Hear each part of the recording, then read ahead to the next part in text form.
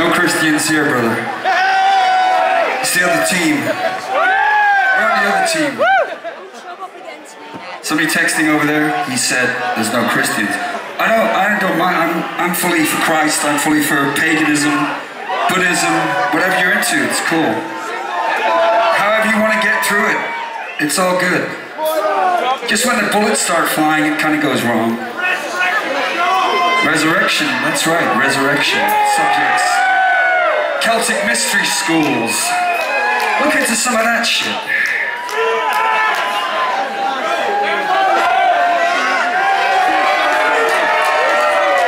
That's right.